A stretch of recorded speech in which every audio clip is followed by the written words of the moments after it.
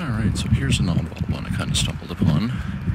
We have near side signals that are for this specific spot, but it's an unsignalized um, crosswalk, but it's only to prevent traffic from building up in the uh, intersection because there's two um, intersections here with the cars. So I can use this crosswalk fully unprotected.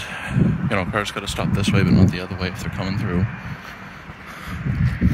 So it's counting down now. There's nothing particularly interesting about the actual intersection. It's pretty standard. So it goes down to zero.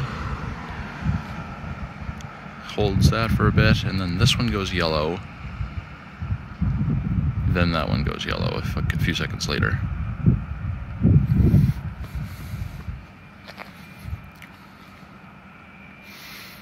And then it does your standard side street phase. Uh, it would be using a uh, advanced left turn arrow throughout the day, I believe, because there's an arrow on it. So it counts down.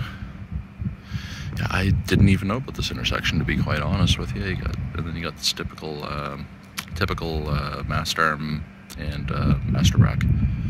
Okay, and then they go back to green together. And then it just keeps recycling. But, I mean feel like this is kind of like halfway through just doing nothing and kind of doing a Quebec overlap where it's like I see what they're trying to do.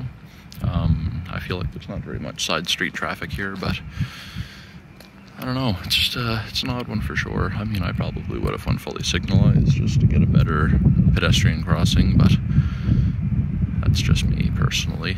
So I'll see it change once more.